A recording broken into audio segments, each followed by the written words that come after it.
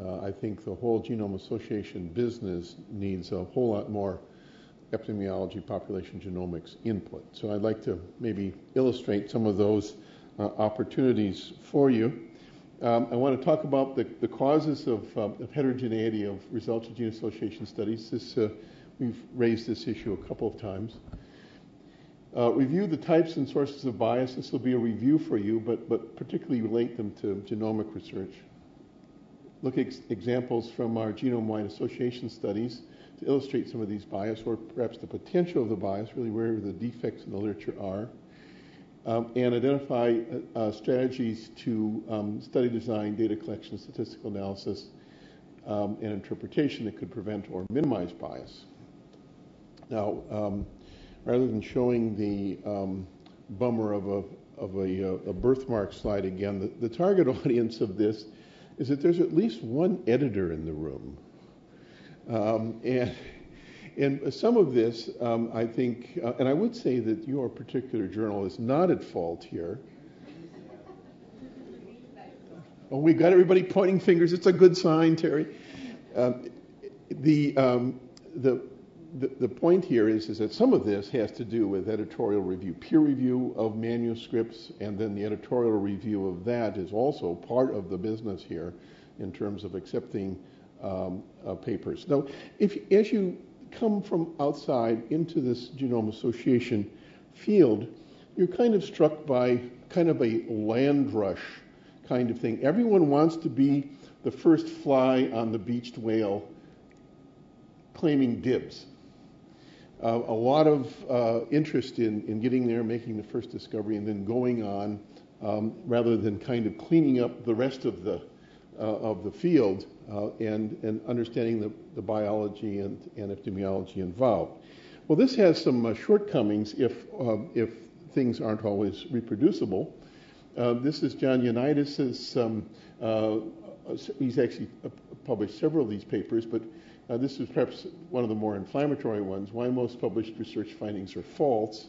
Um, this obviously hits um, small interest groups like the U.S. Congress um, and other um, uh, funding agencies, including the U.S. public, uh, and obviously um, creates a lot of issues for us in epidemiology, and people are doing um, uh, observational studies. and our media colleagues uh, don't help much. Uh, here's the science writer for the Wall Street Journal.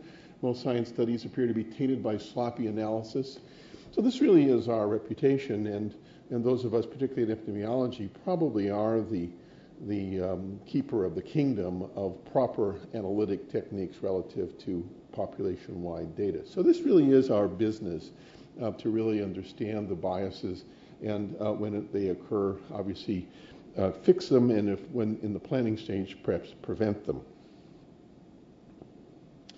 Uh, and this, I believe, uh, both of those um, papers were, were based to some extent uh, on uh, this Hirschhorn paper that um, the, the, study um, that uh, Terry has shown before, but really out of um, uh, out of 600 gene disease association, um, only greater than 75 of the, only six of the 101 percent showed in greater than 75% of the studies uh, uh, there to be uh, this uh, ability to um, be replicated in more than 75% of the studies. So most of the studies come up with a lot of, of issues, a lot of inconsistencies, and some, some are just downright non-reproducible.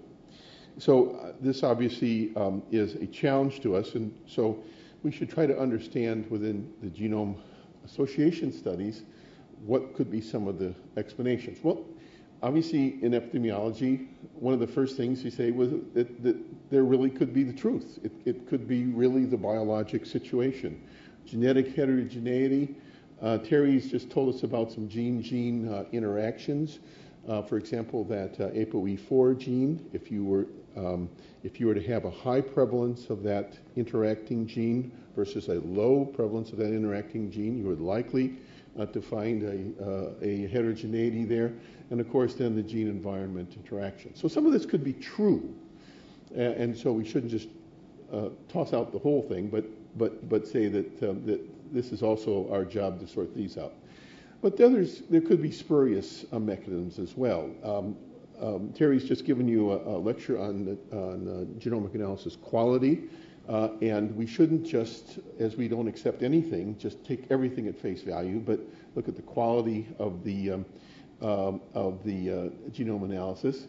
type 1 error obviously is an enormous uh, issue as we come up with essentially a million chi-squares in some of these new chips. Obviously, there's going to be type 1 error, um, uh, a, a, huge opportunity for type 1 error. Uh, the limited sample sizes and power, obviously, in all of our studies. Uh, there's a variety of uh, cohort age period effects. And then I'm going to talk about bias. Well, uh, you're all familiar with, uh, with the definition of biases. Here's one from David Sackett and one from Leon Gordis. And um, uh, obviously, the, the, um, the two parts of this is that they can really occur at any stage of inference, uh, design, conduct, and analysis. Um, and they produce results or conclusions um, which differ systematically from the truth, give us estimate, mistaken estimates uh, uh, of the exposure's effects on not only disease but also on risk. So um, those are some biases. And just to point out that some of the effects of those biases in the genome-wide association context could be false negatives, uh, a study which um, includes um, people with a, a gene uh, that could be important, which um, is not identified Could be false positives, which of course is this, uh, this type 1 error effect, uh, and we've already seen some examples. And I think this is where a lot of the discussion was. I think there's been less discussion on inaccurate effect sizes. In other words, rather than uh, a, um, an odds ratio of a size or, or, perhaps across many genes, a number of odds ratios, which would uh, account for um, a substantial amount of the heritability, um, you would have uh, say uh, some of the biases diluting the uh, the odds ratios toward the null, and um, and perhaps underestimating them, although the possibility is also for overestimate. So so these are the usual effects of, of bias. And just to point out that there is a problem with false um, uh, with uh, with uh, false positives. here's a, um, a, little slide on false positive human beings. Uh, here is uh, here is your ship uh, loaded with mannequins falling into the and the sharks are saying, "What is this? Some kind of a cruel hoax?" The the point here is is that a false positive doesn't just go into the literature and kind of disappear, but obviously then stimulates a number of confirmatory studies whose resources could otherwise have gone on to test other, perhaps more important hypotheses. So this is not just uh, if you have a, a, false positive, it obviously sets up a chain of, of inquiry that, um, that does uh, use resources. So this is obviously something we need us and our students to be uh, very aware of and concerned about. So just like everything else, the types of biases in genome association studies include the selection of cases and controls. These are epidemiology studies in the, uh, in the, um, in the end analysis. Uh, obviously, information on genotype or phenotype, um, as um, Terry has already alluded to, oftentimes uh, there are more issues on the phenotype side of it than with our current genotyping. Uh, there's the analysis and presentation of results, and then finally the interpretation of results uh, as uh, issues. So uh, if you look at all the kinds of of biases, uh, and uh, as I'll mention, I'm doing a systematic review of this. I think there's a, at least 20 kinds, there's probably many more, um, but there's at least 20 kinds of biases potentially encountered in uh, genome-wide association studies. Um, and I haven't listed here the, the ones common to all human observational studies um, response bias, et cetera, although we will discuss them uh, later.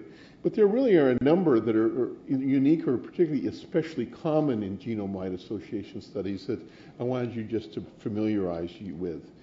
Um, there's some that we call the super case or super control biases um, that we'll mention. Uh, there's this latent case bias. Uh, population stratification has already been discussed, discussed. I'm going to talk a little bit more about it the Hardy-Weinberg disequilibrium, which um, oftentimes uh, talks about uh, uh, genome quality, also genome quality bias in general. Um, affecting um, the transmission dis- disequilibrium test. Uh, and I am going to talk a little bit about the winner's curse. So, um, what, um, uh, in terms of my um, uh, getting into this uh, field and understanding it, um, uh, Terry and I decided that um, a systematic review of um, the genome-wide association literature, um, uh, now listed in the uh, the catalog of, GWAS, would be a good thing to do, particularly looking at uh, in a kind of the epidemiology of, of bias, if you will. Um, the, uh, the, first 109 studies, so these go from March 2005 to uh, March 2008. I had to stop somewhere. It's just like where to stop the tide from coming in because uh, these are coming in literally every day. So we've cut this, and, and um, all of those that appear in this catalog from these dates out there are in there. So we believe we uh, have a, um, a, a, complete sample of the literature. Um, these this catalog only included those with genotyping platforms with density greater than 100,000 SNPs. So there may be some other smaller studies that you're aware of that aren't in there. Um, and um, but this was a uh, an entry criteria. We looked at each study for uh, study design, description of case and comparison groups, collection of genotype and other risk factor data. Particularly interested in how results were presented and how they were interpreted. Um, and um, I'm going to share some of those um, uh, preliminary results of, of this systematic review with you here. So, when you're looking at the whole possibility of bias, um, uh, obviously within the whole genome-wide association literature, there's quite a heterogeneity of, of variables and diseases and, uh, and study designs. Um, uh, in terms of the phenotypes, there were discrete outcomes or traits. Uh, there were about 91 of them in 83 studies. Um, this is because uh, a number of, um, of studies had um, uh, measured a, multiple uh, phenotypes and traits, the Framingham study, uh, the Wellcome Trust study, for example. Uh, and about um, 26 studies looked at 40 quantitative traits. So this is really the uh, what we're talking about, again, quite a number of different, um, uh, different endpoints. But uh, one of the key points here is, is that when looking at bias, of course, the study design, which is most prone to some biases of, uh, of, um, of case and control selection um, and uh, the, uh, collection of data, um, um, information data, are the case control studies. And over 70 percent of the current literature in genome-wide association studies are of that study design. Um, uh, there are uh, about uh, 4% are trios. Um, interestingly, only about 4% are nested case controls. We would expect that to uh, change as the genetic data are collected, the cohorts are followed forward, and this, uh, this type of study design is going to be used a great deal more. Uh, and then there's a number of cross-sectional, I call them cohort, they're basically the baseline studies uh, of, of cohorts which are forming uh, and cross-sectional analyses uh, were done, particularly of quantitative traits, looking at the genes and the lipid values of the genes and the, um, and the um, height, et cetera, as, uh, as cohorts um, are being formed. But the point is, is that uh, the fact that over 70% of these our case control studies obviously does put your uh, antennae up about uh, that this could in fact have some issues with bias. So um, as you know, um, the, the uh, requirements for a bias-free case control study uh, in, include uh, minimization of selection bias and information bias. There should be cases, should be representative of all those um, who developed the disease being studied. the controls representative of all those at risk for developing the disease. I'm going to get back to that in a minute, and eligible to become cases um, um, and be included in the study.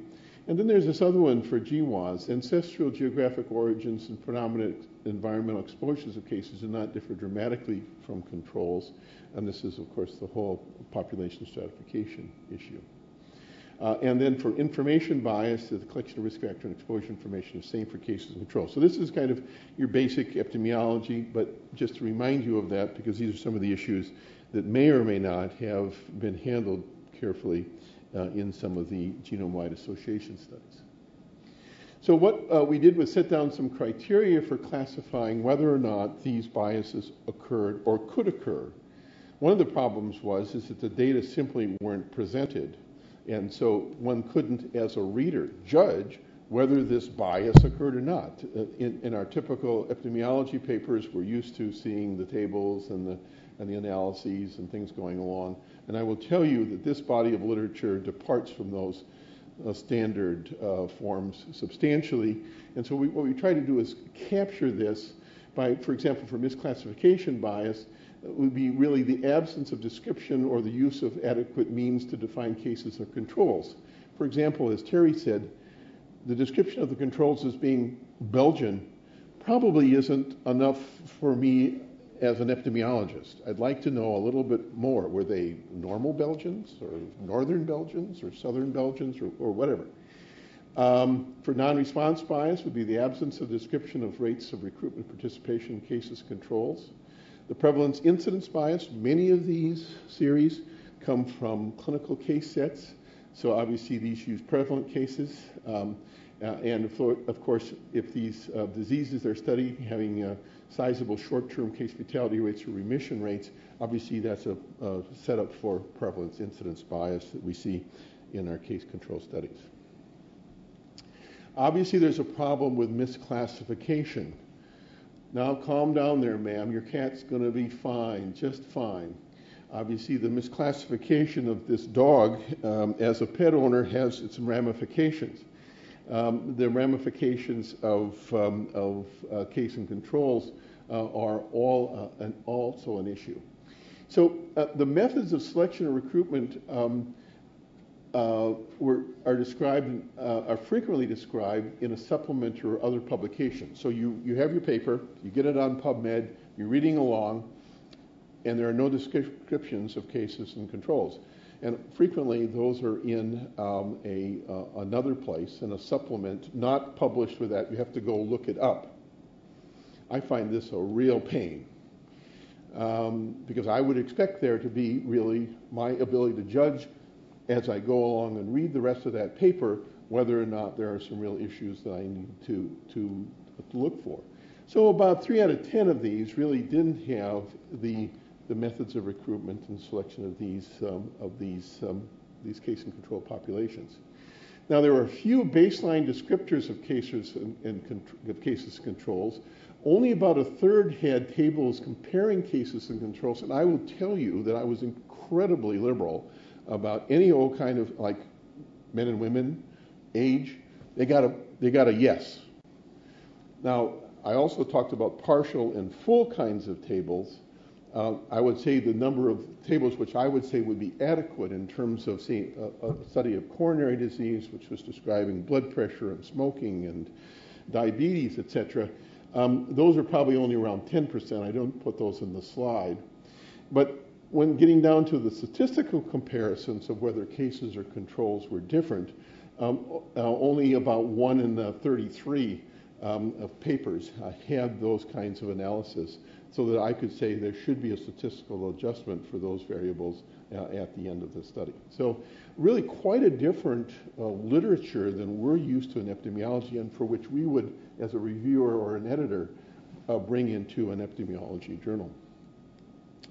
But this was not anywhere as near rare as the participation rates. Now this was this was uh, even even uh, more parsimonious. Um, uh, about 9% had some comment about participation rates uh, in terms of how selective these populations were.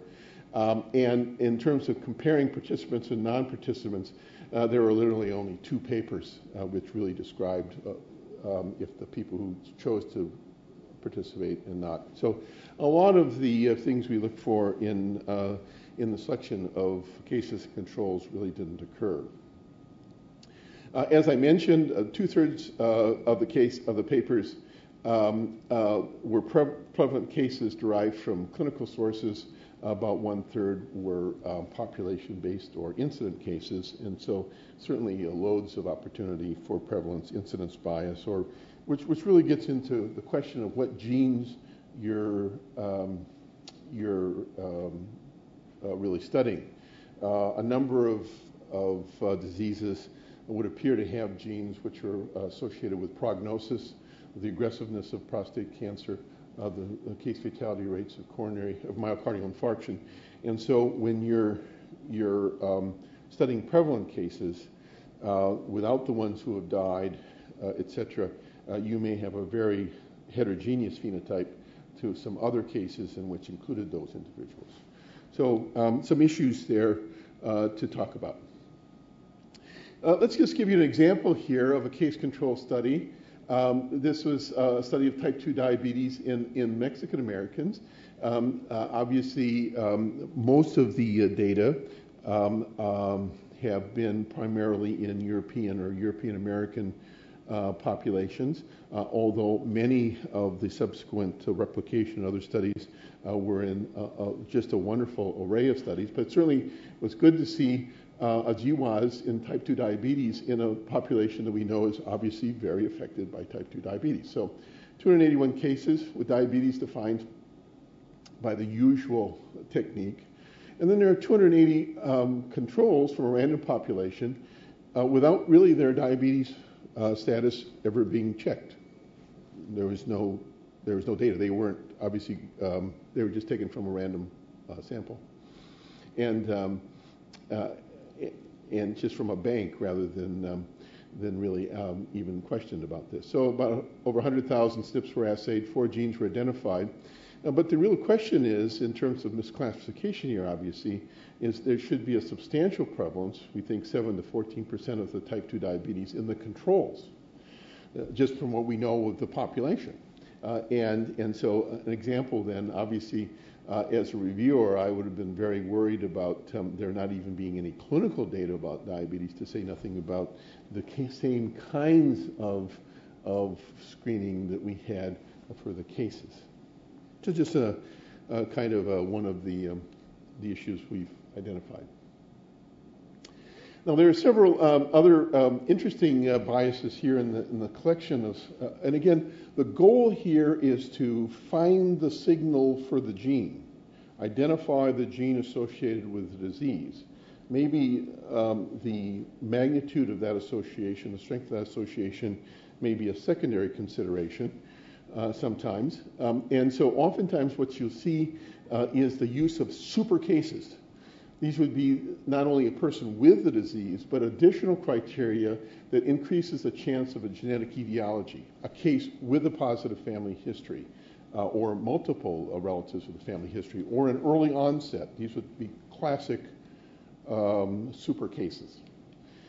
In terms of super controls, the flip side, the use of additional criteria um, that decreases the chance of a genetic etiology, older age, a negative family history. My favorite is an older age person with multiple behavioral risk factors for that condition without the disease. Uh, again, not exactly a sample of your general population who could get the disease in terms of your case control study. The final bias to talk about would be the latent case bias, the inclusion of controls in persons who could never develop the disease even if they carried the gene and there are some of those that are, um, for us, you know, at some point, your deep down inside epidemiology gland starts to um, pump out rage hormones at some point, even though it may not make any difference. It just, I don't know, I'll show you.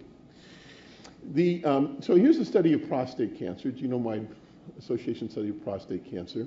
And this was a discovery study. The first, the first study out is called the discovery study. Um, 1,854 cases. And again, these were symptomatic, not just people uh, found these were people who came in with obviously aggressive tumors that, that, that were in the bone or, or caused um, urologic uh, issues, not just uh, one found at, at uh, screening, etc. Um, they're all diagnosed at the age of less than 60 years or had a positive family history of prostate cancer. So super cases not a sample of all the cases that could come. Similarly, they used super controls. Again, 1,890 controls. Again, they had to be older than the age of 50 uh, and with a normal PSA. I don't have any problem with this. But the um, one of the points, uh, actually, it's actually a, very low uh, PSA, Um, but what you ended up here with is that actually this uh, group of cases being substantially younger uh, than this group of controls, in addition to the other super case definitions. So they had about a half a million um, SNPs uh, assayed. They found 11 new SNPs, SNPs associated 10 to the minus sixth, and then went into a replication study uh, with uh, 3,300 cases controls, which were much more generally um, defined. Your typical case of, of prostate cancer, your typical control. They genotyped these 11 SNPs. They found seven to be independently associated uh, at the 10 to the minus seventh. Well, here's what they found. And if you look down your odds ratios, the ones that are positively associated with prostate cancer in the discovery study, in every instance, went toward the null. Okay? Um, in those which were negatively associated, again, migrated toward the null. Now, I will give credit to the authors here. They acknowledged the use of the super cases and said that in future studies, the real estimate of risk should be these. That was in the text and as is appropriately to do. You don't always see that. Um, but you can see the, the, the, the, issue here of obviously uh, putting out the net, um, finding some genes, and then following it up uh, with these, these studies uh, in replication. Um, um, the danger comes in, of course, is that when we make our risk estimates with these as really having a population relevance rather than the unique characteristic that they had. Um, whereas these are probably the population. And as I'll mention later, the winner's curse uh, is when you do your study here, uh, find these, and either have regression to the mean or even worse, uh, a, an exaggerated um, uh, estimate of risk, and then detect, then use this for your sample size calculations for your sub, subsequent studies or other investigators using those odds ratios for sample size calculations in which they can't uh, replicate these. It has to do with the super case and super control bias. Um, and this is this issue of the, the latent cases. Um, and uh, here is a discovery um, study in Iceland. 1,890 um, uh, uh, cases of prostate cancer uh, and over 20,000 controls.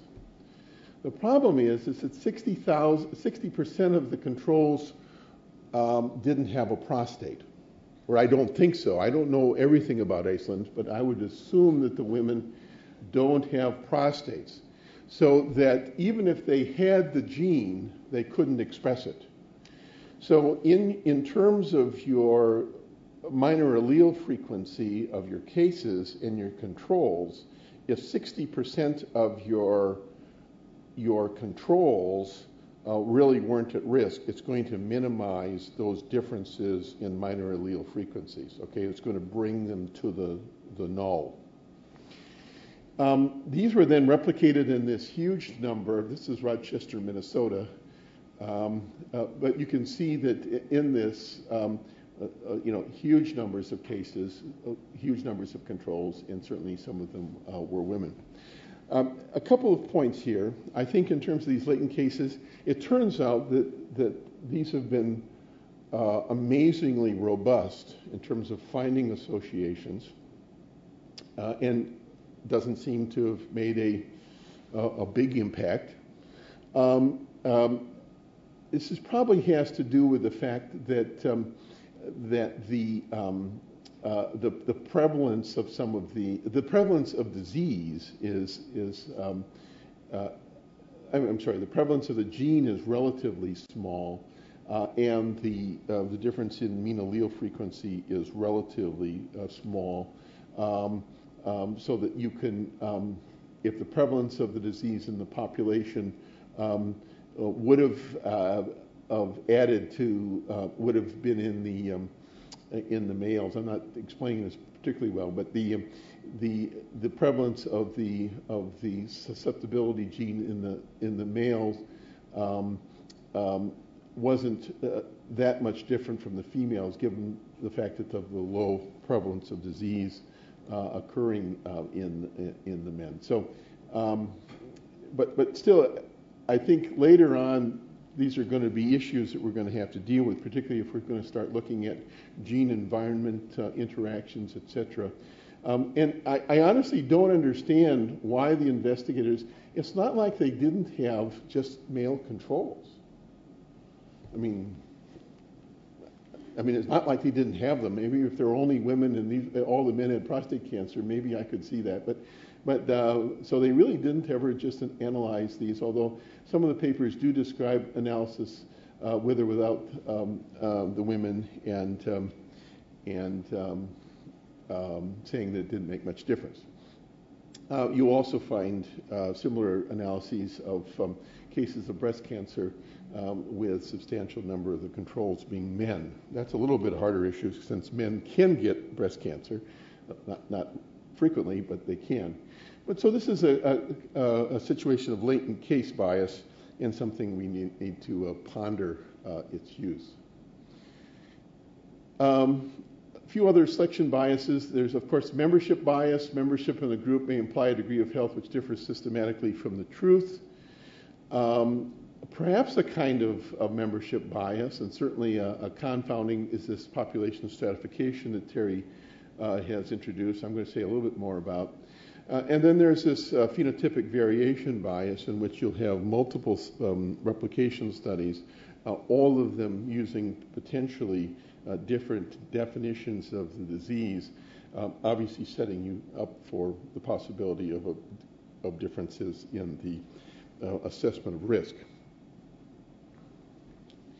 Uh, so here's the, the Wellcome Trust Case Control Consortium.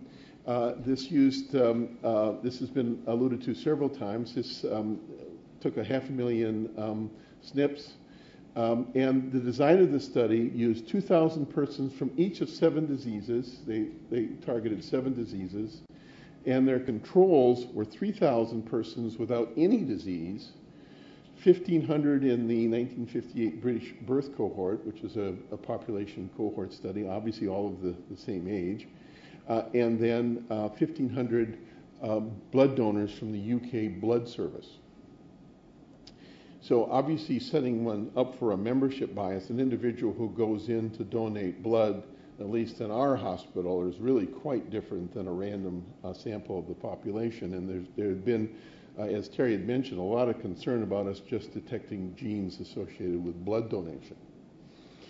Um, and so um, uh, now, having said that, also in this, um, this analysis, uh, sometimes there'll be the 3,000 controls used. Sometimes um, they'll use the 2,000 uh, cases um, with, uh, say, one of these disorders, uh, and the other um, 12,000 cases will go into the control group with the 3,000 as control controls. So they weren't uh, random samples of the population uh, either. So a number of these that caused the classically trained epidemiologist, uh, at least this classically trained epidemiologist, to wrinkle one's brow. Uh, but th- I'd have to say, with the Wellcome Trust being very successful in identifying uh, a number of gene associations, uh, would appear to be uh, amazingly robust, um, but still um, issues of concern. So I just want to give another example or so of this population stratification. Um, uh, just to say that um, that uh, these different allele frequencies, um, uh, due to the diversity of population of origins and unrelated, is really a confounding. Um, there have to be differences in the disease prevalence between populations. Uh, there have to be differences in allele frequencies, and therefore, with different admixtures, you'll have your classic confounding uh, triad. And, so what you have here is coming out of the of the uh, of the womb of uh, mankind in Africa here, uh, and then spreading across. Uh, you have obviously um, most of the genes shared, but Europeans having some separate ones, and East Asians others, and Africans one. And so the degree to which you're admixed around here could lead to a situation in which a gene in a disease which is, say, more frequent in Africans um, in an admixed um, uh, a disease which is more um, frequent in Africans could be associated with genes which um, are more frequent in Africans, not on a causal basis, but on this population stratification basis. Uh, and um, the classic example of this is from um, Bill Knowler, uh, reported uh, here in this Lancet paper, uh, looking at um, Native Americans. Um, and uh, there is this, this, um, this uh, diabetes gene. Um, it had a prevalence of 1% in, um, in um, African Americans and obviously in Native Americans. And obviously, diabetes prevalence is very high in this population. Uh, and then you have this uh, polymorphism, which is very frequent in Caucasian Americans, and obviously um, a lower prevalence of diabetes. And when you put them all together um, into a, a study um, of, say, a, um, uh, a, a, Native American population, uh, you end up with this kind of a, a two by two table uh, showing uh, the um, uh, protective suggestion of protection of this of this genotype here, um, with those with positive, obviously. Um, uh, having very uh, relatively little diabetes compared to um, um, not with diabetes, uh, and vice versa. Then what you could do is, is uh, stratify essentially by this index of Indian heritage, similar to what we would do in, in the next slide describing uh, large uh, um, number of SNPs that classify um, population stratification. Here, just w- one index of Indian heritage, stratifying by from low to high. Um, and then uh, looking at the association across these strata, and you can see very little association once this stratification. So clearly, this association was confounded by um, by the degree of, of uh, American Indian heritage, which, when taken into account, showed no association with the with the uh, with the disease. So um, probably the uh, the classic uh, description of population stratification. Now, what one can do is then use unlinked genetic markers uh, for this.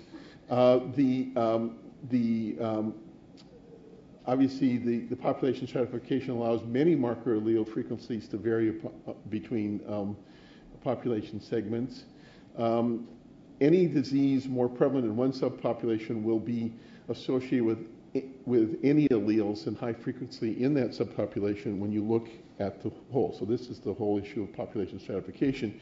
But however, you can also use these multiple markers um, by analyzing these unli- unlinked markers um, and essentially adjusting for them.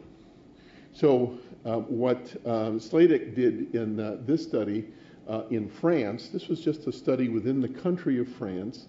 Uh, it was looking at type 2 diabetes, 660 cases, 614 controls, um, upwards of uh, 400,000 SNPs. Um, and this, this, um, this SNP, um, um, 200 kilobases from a lactase gene on chromosome 2 uh, was one of the associated. Um, it was strongly associated with type 2 diabetes, but it also was known to have a strong north south prevalence within the country of France alone. Now, we're not talking about Asia versus North America or, or, you know big differences. We're actually talking about within the country of France. Um, what they used then was adjusted for 20,000 plus SNPs that were not related to type 2 diabetes as a measure of the population stratification of the genetic heterogeneity across north to south France. And after adjustment for the stratification, most of the association was removed. So again, another measure about um, how this uh, could be important. Uh, lactase, um, you might uh, think should be uh, associated north-south. Uh, the milk drinkers in the north and the wine drinkers in the south of France. Um, obviously, you could see how that uh, that could work on a genetic basis. phenotypic variation bias. Um, uh, obviously is also an issue. Here's a, um, a description of cases in a study of atrial fibrillation. Uh, the first sample, um, you had uh, hospitalized patients um, with atrial fibrillation. The second sample, you had hospitalized patients uh, with hospitalized with ischemic stroke or TIA um, with atrial fibrillation. The third one was hospitalized patients again with acute stroke, and the fourth sample was um, was lone atrial fibrillation in patients with hypertension. So what you have is is all sorts of other things, and um, I should think if you study this compared to this, I would imagine you'd come up with some genes that were associated with stroke here with hypertension. Uh, obviously, this heterogeneity of the definition of the phenotype uh, leads to uh, possibilities of, um, uh, of uh, heterogeneity. Um, we've talked a little bit about um, uh, genotyping quality bias. Um, just to point out is, is that a number of papers did really lack the genotyping control and really the quality control um, criteria that were used um, or what we call the, the call rate, the success rate. Um, we've also, um, a number of papers did not test for Hardy-Weinberg disequilibrium as a measure of quality control. And um, there were a number of examples of uh, transmission disequilibrium um, testing uh, bias. Um, uh, some of them, I think, um, caught and some not, but uh, some distortion of the frequencies um, um, at the end of that time. Uh, one of the other questions is uh, Is DNA collected and handled identically in cases and controls? Uh, this was uh, from Clayton and uh, this type 1 um, diabetes study. Um, the, the, GRID study, 1958, British birth cohort um, um, looking at um, at the controls and uh, examining um, a small number of SNPs here, looking at lymphoblastoid cell lines uh, using the same protocol, uh, but um, done it at a couple of different uh, laboratories is the point of this slide. Uh, and despite uh, um, randomly ordering them and masking them as case control status, there were a number of extreme associations who really couldn't be repeated with a second genotyping um, probably having to do with, um, with different laboratory techniques. Um, in terms of um, environmental exposure uh, bias, information bias, frequently what we saw was a lack of collection or presentation of known environmental causes of disease or comparison between cases and controls. Um, these occurred uh, very frequently. Again, this had to do with this table one that was frequently missing um, and um, didn't really allow the reader to really judge whether or not there should have been a further um, uh, adjustment or not. Uh, just further with this, the confounding control bias was the lack of statistical adjustment or stratified analysis in the presence of potential confounding. And so even though there was um, or large differences identified, uh, frequently there was no statistical uh, test then to follow through and adjust for them. Um, the, um, so there were few comparisons of these exposures um, between cases and controls. Um, in only about 36%, again, there were these tables comparing the cases and controls um, in, in, terms of, of what um, important risk factors were known again, the statistical comparison then was uh, was really only in about 3.5 percent. The statistical adjustment was only in about one out of six, uh, and only about one out of, of six were stratified by analysis by a potential confounder. So, in terms of the things we'd like to see, perhaps in the analysis uh, side of things, or or using the, collecting the information, displaying it so we can make a judgment, and then mathematically taking into account some of these differences. Obviously, um, uh, an area where um, uh, we, we think the analysis could have been better. This is a study on uh, macular degeneration, um, and um, this study was from uh, Hong Kong. Uh, but just to point out that um, this did have a table one looking at cases controls. I believe it was in the um, in, in, a um, supplement. Um, and these are all risk factors for macular degeneration: male sex, age, and being a smoker. And so, before the gene, gene analysis was done, um, this is the prevalence of men versus women in the in the cases controls here. Obviously, beginning with um, great differences, and the prevalence of smokers was also tremendously great. I guess what I was trying to figure out from this paper is how they just didn't identify the genes related to smoking, or perhaps uh, male sex. It would have been much better to have tried to stratify, and, and uh, there was a, one phrase in this paper saying they adjusted for things and they still found these genes dro- drove me a little crazy. Um, and, um, and just to say is, is that uh, I think the study uh, to really try to look for the genes um, could have been um, much better done in which um, these known risk factors um, were, were balanced in the two groups so you could really look at the gene effects. Uh, confounding, I think you're all very uh, familiar with. Um, um, and we won't uh, we won't talk about that. Obviously, you need something ex- associated with exposure um, uh, and associated with disease, uh, and not an intermediate step. So here you have your your illustration of confounding, the confounder related to exposure and disease, uh, and not just um, part of the causal pathway, which we see very frequently in um, in uh, in epidemiology, uh, and certainly. Um, uh, I'll show you an example of, uh, uh, of, of this kind of confounding.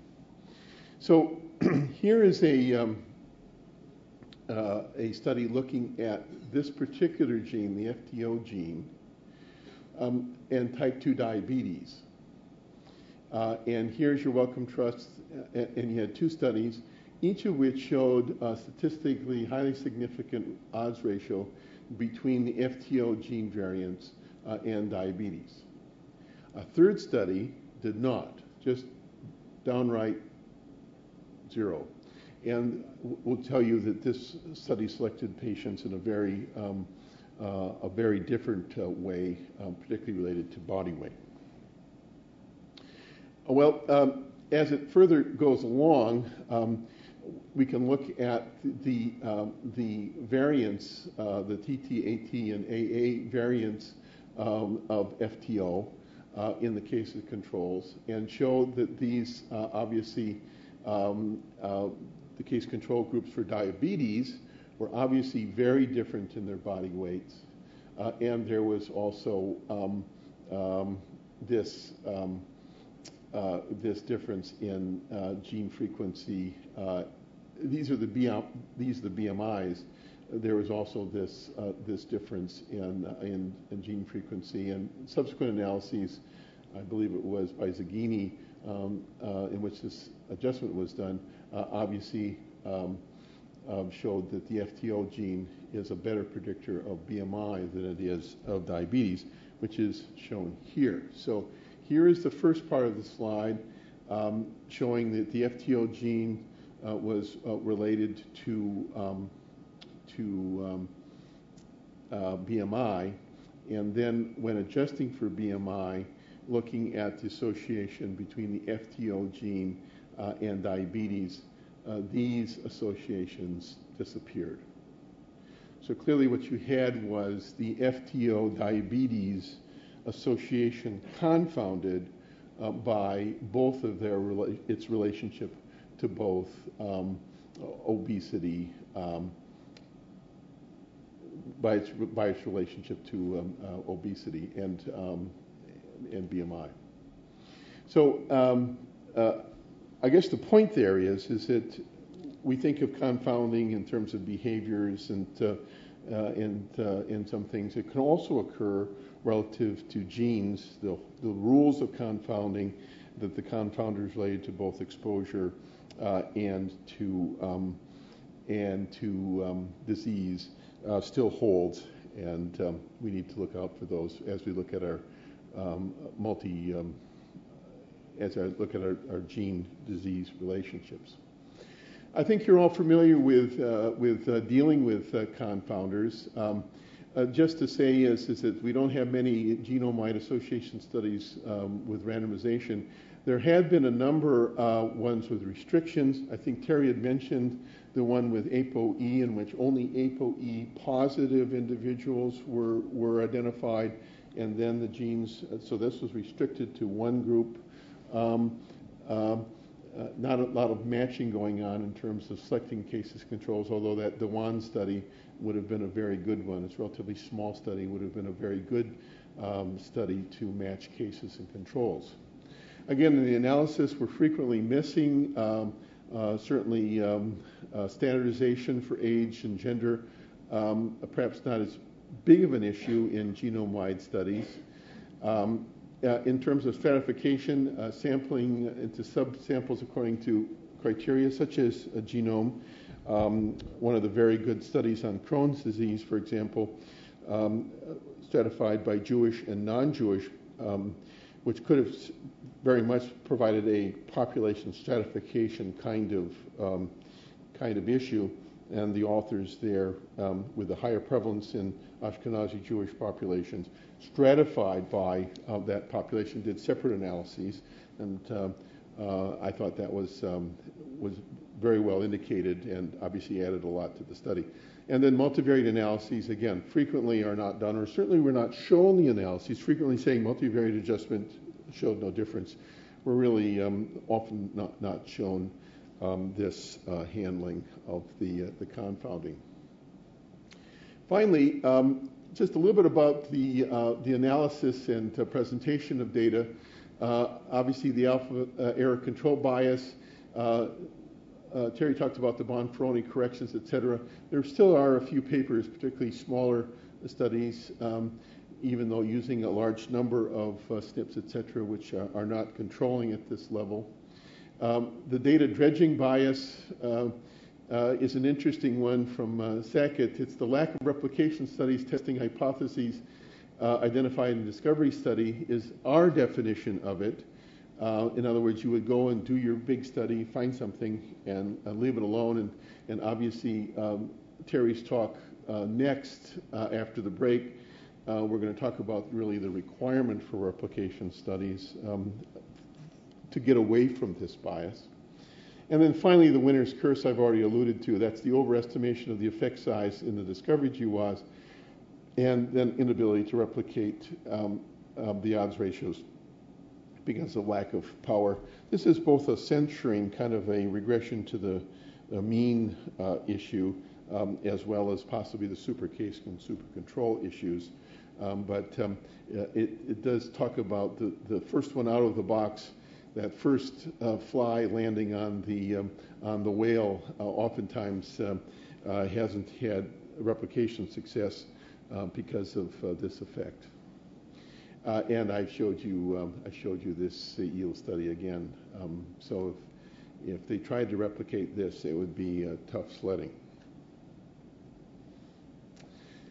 Finally, let's talk about the biases as interpretation. In, you, in, reading this literature, you really get the idea that you're flying along and saying, What's a mountain goat doing way up here in the cloud bank? You have an idea that something should be happening, and when something doesn't happen, um, you kind of discount it. Uh, the fact that he's about to run into a mountain uh, is probably not part of his hypothesis list, um, even though obviously it should be. Um, uh, and these were uh, reviewed, these interpretation biases, um, in this general review by Kaptchuk. Um, I think some of them that uh, are to think about the confirmation bias, evaluating evidence that supports one's preconceptions differently from evidence that challenges these convictions. For example, this whole idea of gene deserts. The initial GWAS study, oh, it's in a gene desert, it can't occur. That's really a conviction bias. You had to have a gene in an exon changing a protein for this to work. Um, and only until later, when a number of these kept on coming up, and within the same study, you had some in introns and some in exons and some in regulatories and gene deserts and all. Uh, I think we got away from um, the preconception uh, of this gene protein requirement. Uh, there's the rescue bias. You still see in the discussion the discounting data by finding selected faults in the experiments and uh, a lot of discussion here. Or mechanism bias.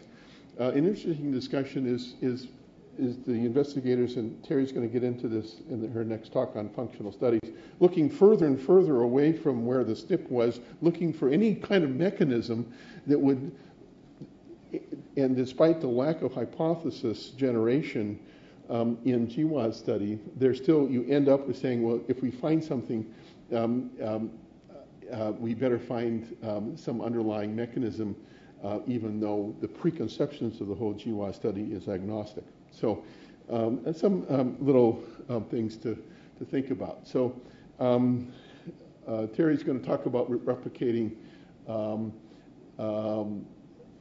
And in that paper, um, that I'd uh, highly recommend. Uh, I put in your handout all those things that we would recommend in terms of minimizing bias. I'm not going to go through them because it's EPI 101, but just to say um, many of these issues, if that Chanock and Manolio paper were followed, uh, uh, we would um, have probably less heterogeneity uh, in the studies. Okay. Um, I think those are all uh, in there. So um, what we want to do is, is that um, when we find something, yep, it's a mammoth. Um, what we'd like to do is, is be able to say um, we have uh, an association, uh, and it was not a spurious one, not due to something we can't account for, but rather uh, um, something that we can do uh, confirmatory studies, mechanistic studies, drug target studies, obviously, uh, and this deals with the information going into that decision um, being credible.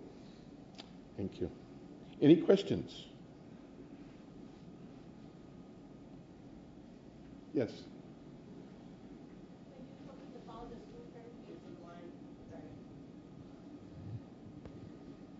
When you mentioned about the super case bias, I think sometimes how to balance between a super, uh, super case bias and a true case recruitment. Because sometimes if we try to recruit a true or an extreme case, just want to ensure they are true cases.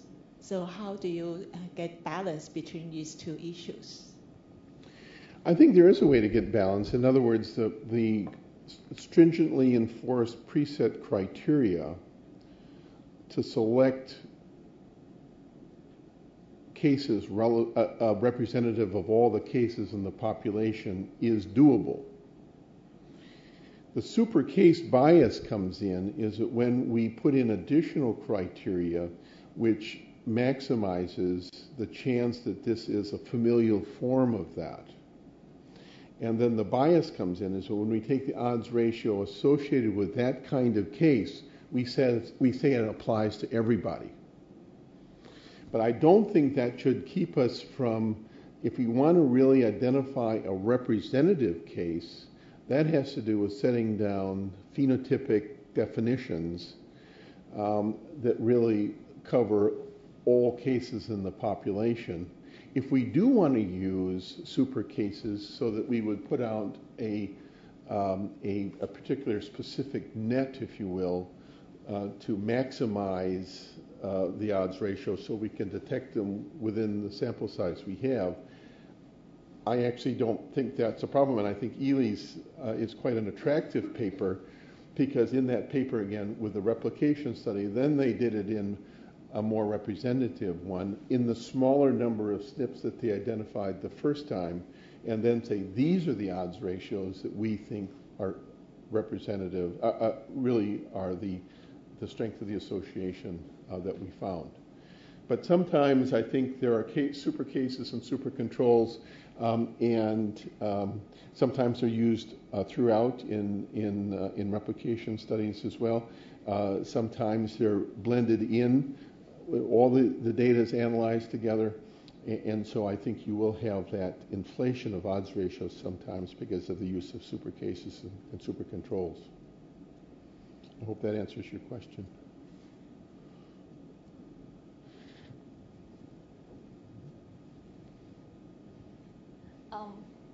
So I, I just wonder whether you, c- you could give us some um, guidance um, for the epidemiologists when we look forward, would like to design a GWA study in the future is um, obvious to avoid and or to minimize all the potential confoundings. Sounds like uh, both you and Terry talked about um, replication extremely important.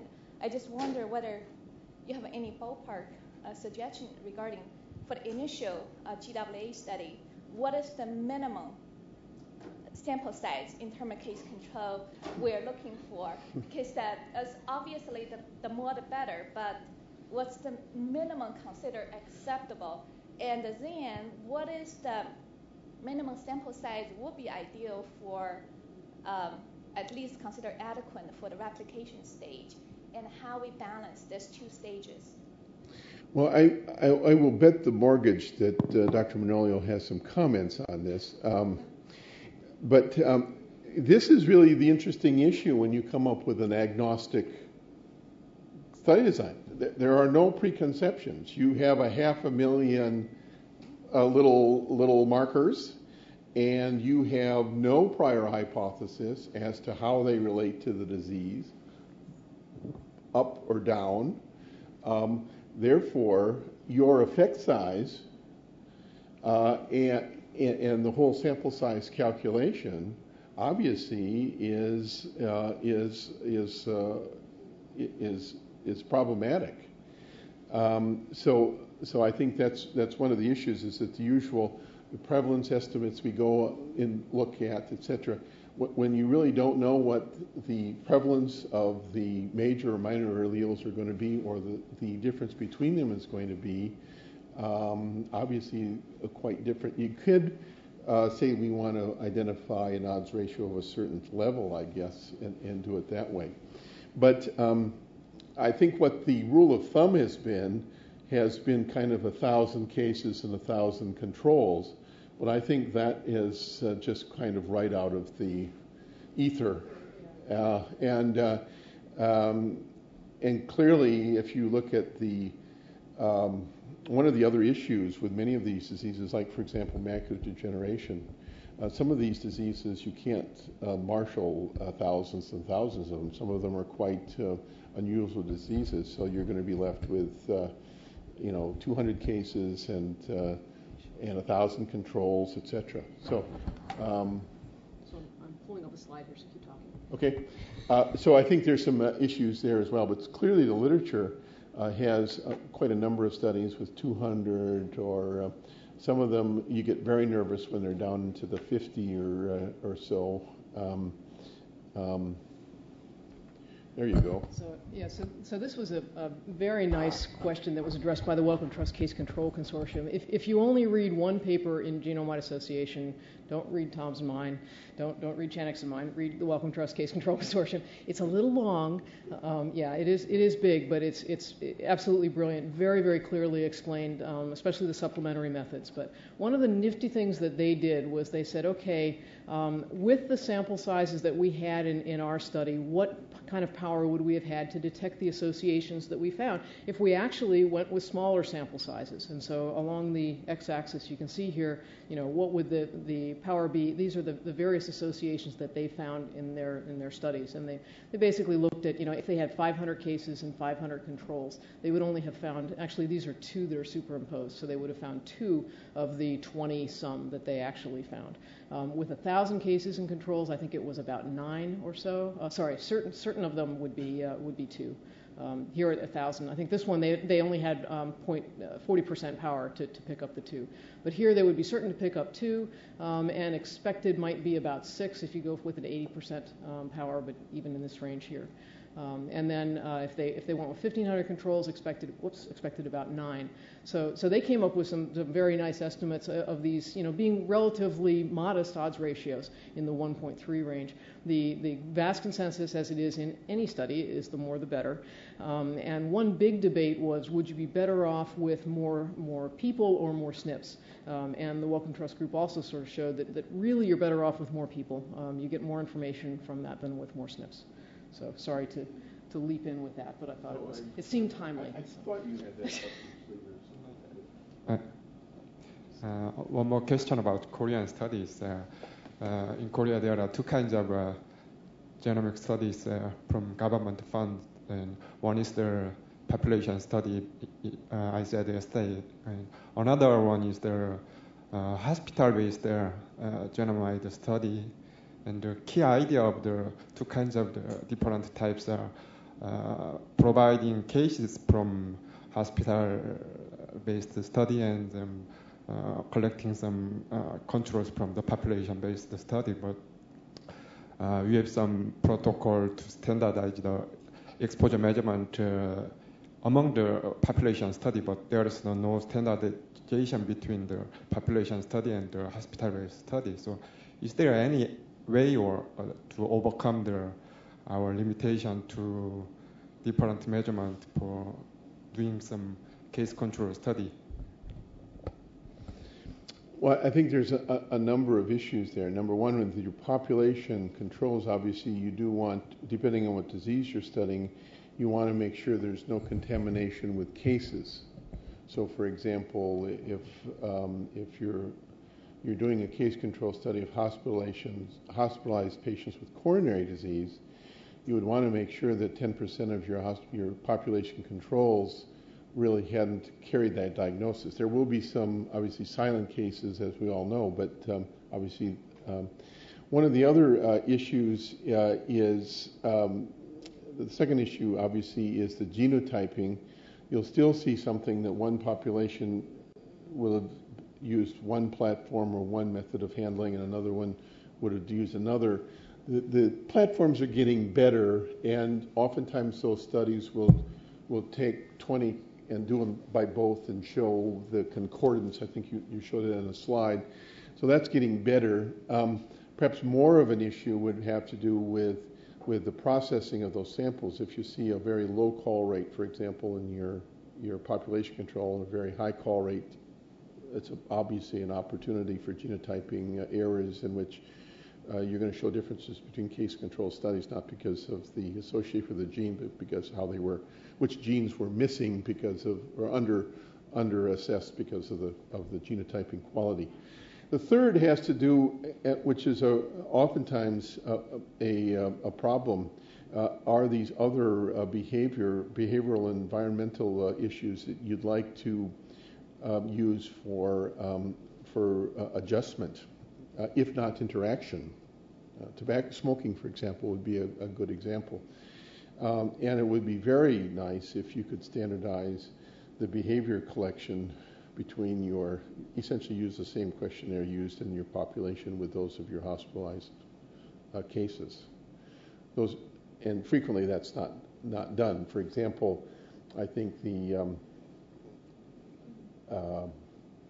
the GWAS study of Mexican Americans uh, with diabetes, uh, obviously that was a clinical uh, group of cases from a, a diabetes clinic and a, and a population study, uh, which was kind of just a general roster which didn't have the testing for diabetes. So you had a variety of, of uh, different informations and the possibility of information bias sneaking in there. So I, the, rec- the recommendation in in the Korean study would be to see if, if one could uh, standardize the, uh, the uh, information in the, um, that you're using in the population study with the, uh, with the institutional data.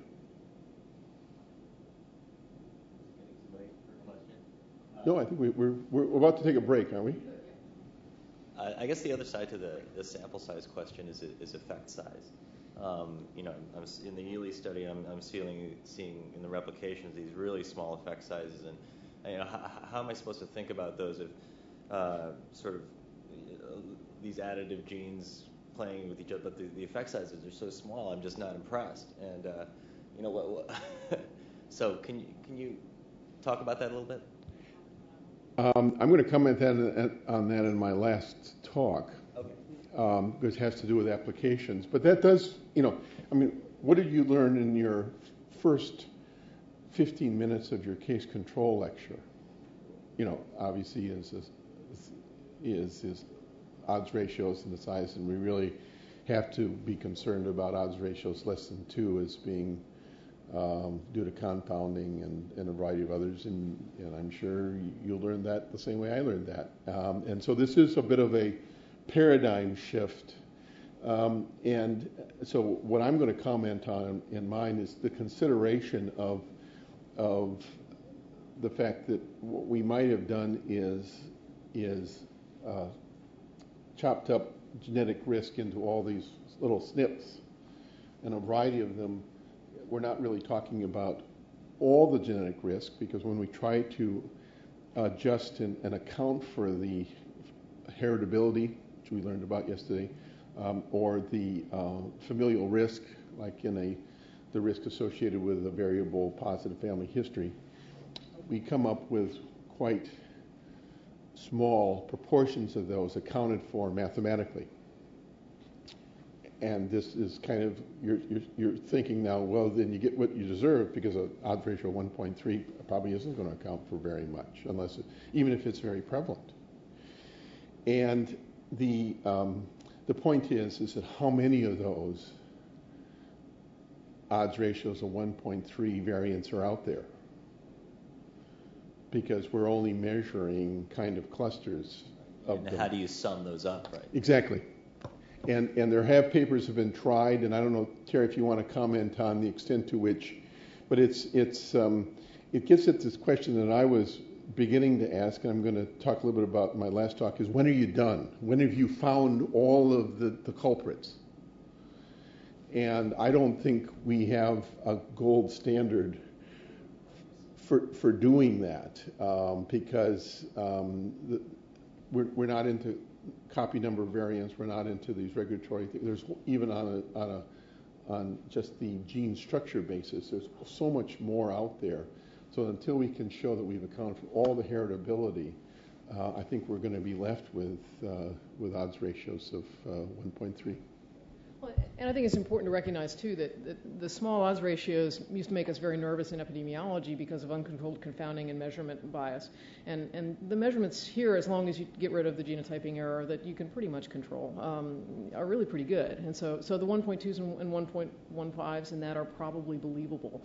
The, the meaning of them is, is a big issue, and Tom will go into that some, recognizing that some of these may be pointing the way toward drug targets that might work for everybody. So, so you know, um, familial hypercholesterolemia was a very, very rare gene. It, you probably couldn't even pick it up in a genome-wide association study for, for cholesterol levels. And yet the drug works for everyone except, ironically, the people who are homozygous for the variant or who don't have the receptors for the drug to, to work on. Another thing to think about is, is that as we do in more and more and more of these studies, um, the Wellcome Trust Group, again, Peter Donnelly, has, has come up with some estimates of how many variants might there be out there that actually, due to, to variation and, and distance from the, the particular, you know, the, the actual causative SNP on the platform, you're actually underestimating the, the risk of. So because you're a little ways away from it, there might be a 1.5 or a 2.0 or even a 4.0 hiding there. And if you do this for 100 diseases, probably everybody is at risk for something. You know, we're all going to die of something, um, except me. Um, and, and, you know, the, the diseases that we might be at risk for, you can you can actually sort of estimate. Gee, you know, you'll find 90% of the of the population will be at risk for at least one of these based on their genetic variants. And if you could find that, that would be very useful, and and perhaps you know do some some interventions on them. So when you take them one at a time, you really have to think genomically, you know, and, and one at a time maybe not, but together probably. And we haven't even touched the subject of gene-gene interaction and gene-environment interaction, which is another part of the, the whole. Maybe just while we're before we're breaking, maybe ask the editors uh, in, in the group if if we could have some editorial comment um, about this issue of um, new genre, new technologies, etc. A lot of excitement um, that deserves to be the scientific breakthrough um, of the year as it has been for a while. Uh, on the other hand, um, it, it's it's it's kind of, um, of like getting a, a, a, new sports car and then forgetting about the rules of driving safely.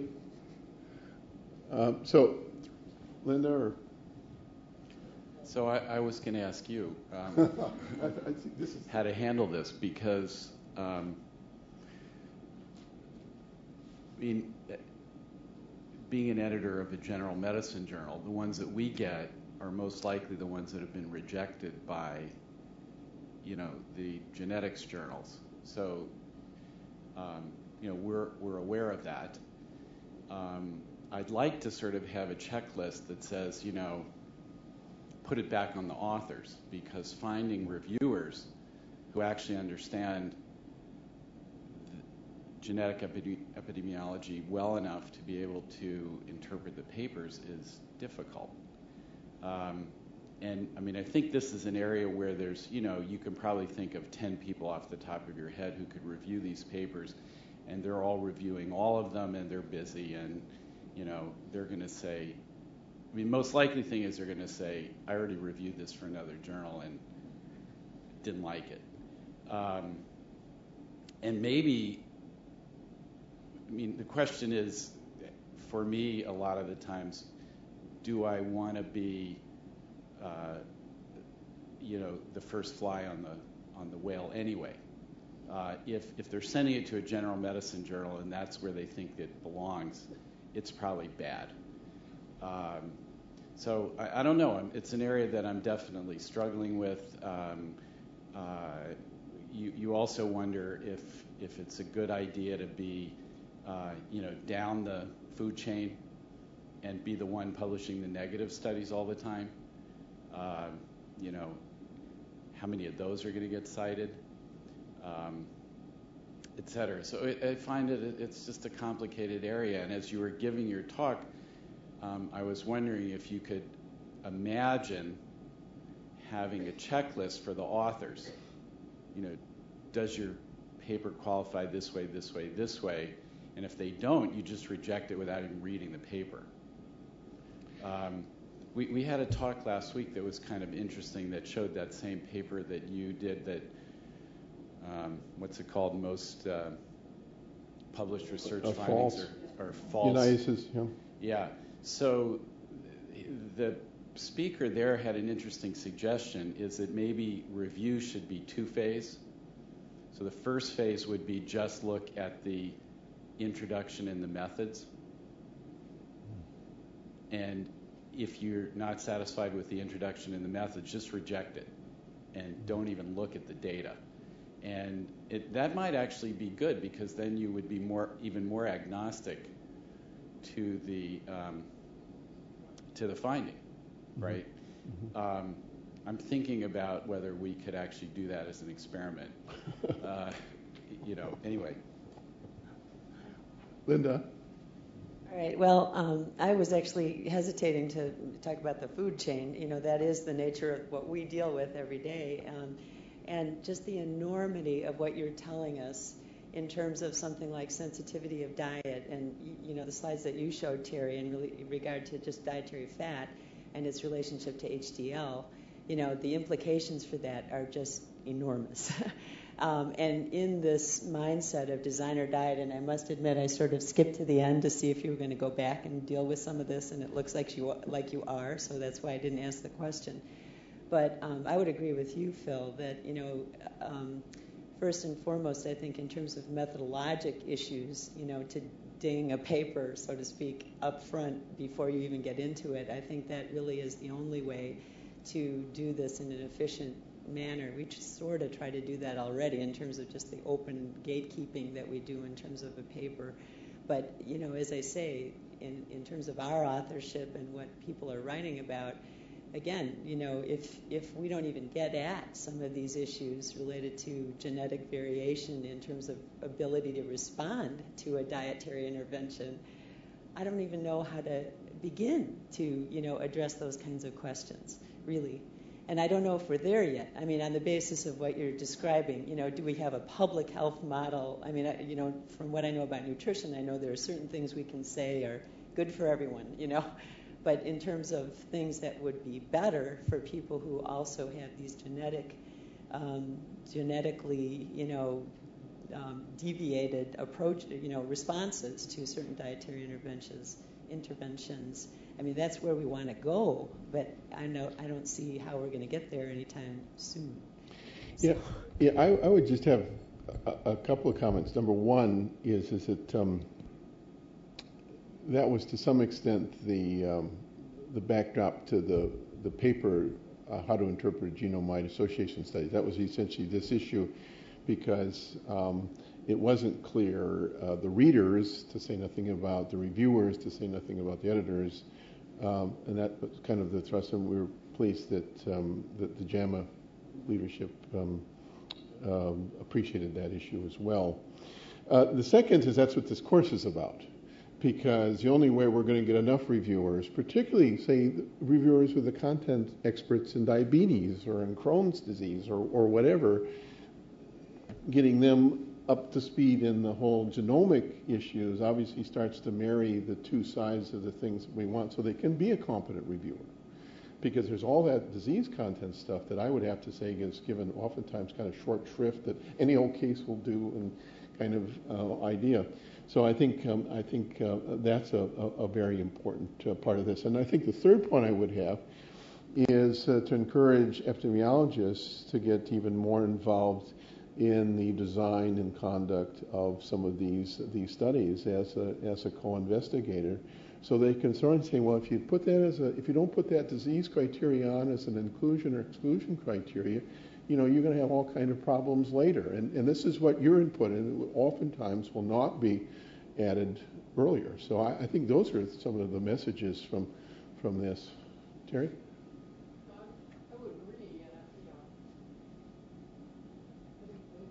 Big opportunities here for, for epidemiology is, is actually to take the, you know, skim the, the genome-wide associations. We, we have them listed in our catalog and, and test them in your cohorts and then see where you have really good dietary measures. What are the interactions what are the differences in the way people, people respond? I mean, that's work that's just begging to be done, and, and we can do it.